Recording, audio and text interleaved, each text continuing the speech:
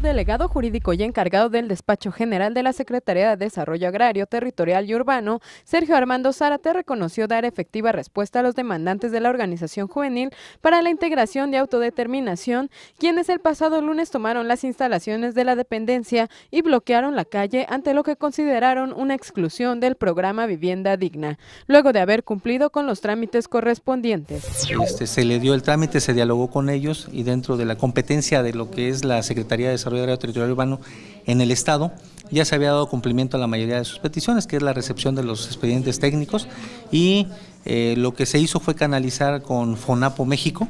para efectos de que se les dé a través de ellos el apoyo correspondiente. Uno de los esfuerzos que vamos a conjuntar con gobierno del Estado, como le comentaba apenas hace menos de un mes, ya tenemos la solicitud por parte de CINFRA también, es precisamente elaborar un atlas de riesgo,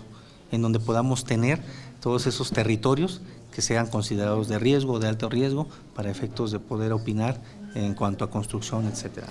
Asimismo, sobre las afectaciones de infraestructura en las comunidades que sufrieron el paso de las tormentas, Ingrid y Manuel explicó que permanecen en la etapa de valorización de daños y el próximo 25 de octubre es la fecha límite para entregar el reporte final y considerar el total de la inversión económica a aplicar. Precisamente en la etapa todavía de, valoración, de, valoración, de captura de cédulas en el sistema que se tiene el CIPREP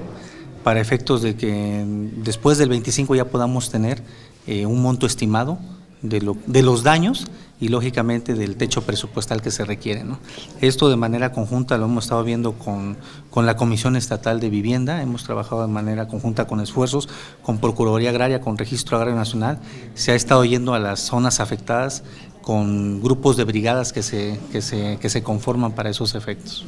Con imágenes de José Antonio Reyes para MBM Televisión, informó Metz Libertran.